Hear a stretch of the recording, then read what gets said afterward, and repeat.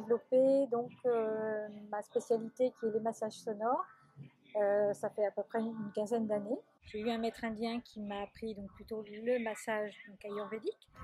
Et mais le massage sonore, c'est selon mes voyages, mes lectures, et puis j'ai appris en fait en, le faisant en fait, et surtout en écoutant, parce que chaque bol résonne et résonne sur différentes parties du corps et évidemment euh, sur le corps mais aussi euh, au niveau du, cerveau et du coup on travaille vraiment la méditation le corps l'esprit et on, essaye de j'essaye de réunifier en fait le corps et avoir une écoute plutôt intérieure que extérieure. Alors les gens, ben, ils, sont, ils, sont, ils, sont, partis, il y en a qui, qui, partent euh, soit au Tibet ou qui partent euh, une relaxation assez profonde.